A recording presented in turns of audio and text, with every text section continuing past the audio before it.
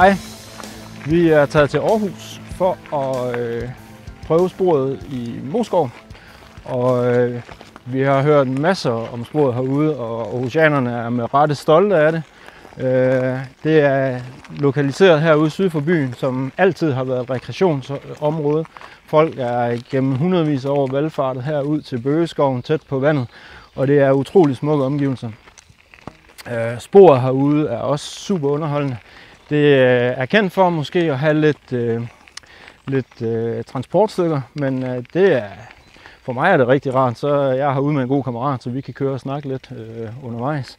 Øh, og indimellem så er der nogle sektioner, som er øh, teknisk virkelig udfordrende og super, super sjove. Øh, dertil er der en hel masse lækre, lækre flowspor, hvor man bare kan lade cyklen rende og give den fuld pedal. Øh, spor herude er nok et af de single track spor i Danmark, der er den højeste gennemsnitshastighed på.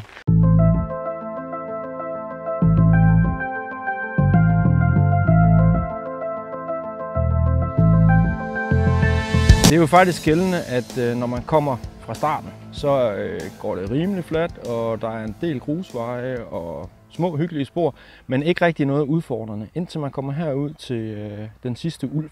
Noget med en ulv, der er blevet skudt her engang for mange år siden. Øhm, når man kommer herud, så er der først et super, super sjovt flowstykke ned, hvor man virkelig kan få fart i cyklen, og der er nogle tekniske sving og kurver. Og så kommer man herhen, hvor man så får et valg. Enten så kan man tage den blå, som stadigvæk er flad, øh, og, og hvor der ikke er de store udfordringer. Eller også så kan man tage det røde spor. Og tager man det røde spor, så kommer man op ad en opkørsel her bag ved mig. Og den kan godt trække tænder ud. Og har man nu siddet og kørt lidt for stærkt i starten, så kan man godt blive ramt lidt af en mur her, bogstaveligt talt. Øh, og så bliver det lige pludselig hårdt resten af runden. Så en rigtig vigtig detalje, når man kører i Aarhus, det er at lade være med at lægge for hårdt ud.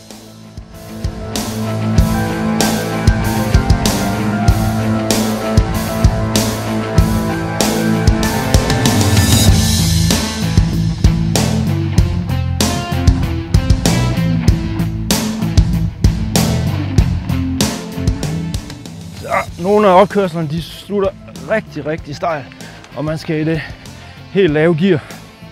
Men øh, faktisk nærmest kendetegnende for alle opkørslerne herude i Aarhus, det er, at når man kommer op, så bliver man belønnet big time nedad.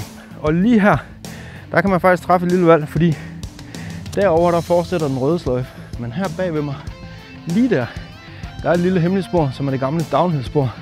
Og der har man lavet nogle forbedringer, og dem prøver vi lige nu.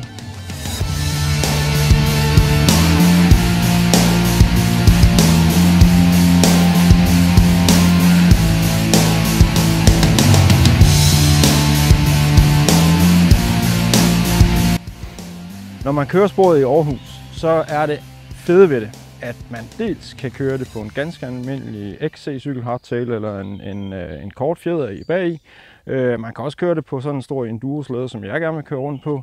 Og øh, når man kommer herud, så kan man altid træffe et valg. Man kan tage det blå hele vejen rundt, og så er det ikke særlig teknisk svært. Og vælger man de røde, så faktisk indimellem, så får man yderligere et valg, fordi at man øh, har valgt både at lave A- og B-linjer, øh, så alle kan være med.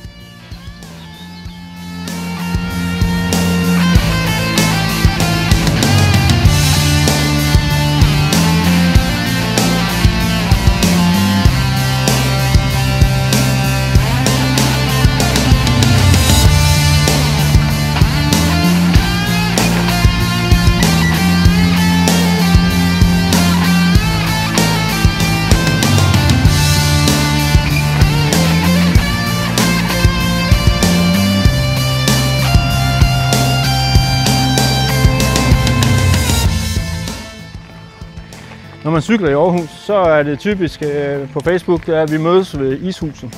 Og øh, det er også det perfekte udgangspunkt, for når man så kommer tilbage efter turen, så kan man håbe på, at ishuset har åbent, så man kan få en stor fed is.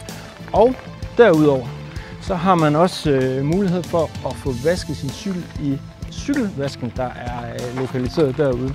Så øh, masser af fede initiativer, der gør det nemt for byboerne at komme ud og cykle, og ikke have en snavset cykel med hjem i lejligheden.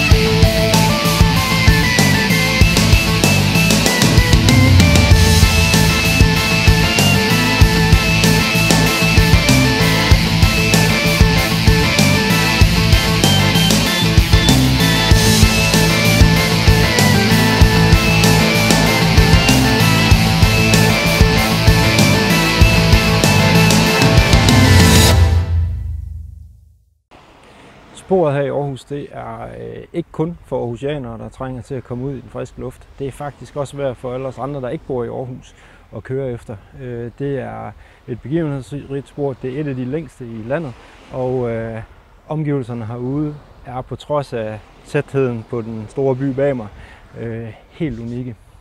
Hvis øh, I vil se flere af den her type spor her, så husk at, øh, at følge os her. Øh, alternativt så kan man lige tjekke øh, sporet Danmarks Tag herop, og øh, man kan se et spor fra Stendal og Alheden herop. Så hygge!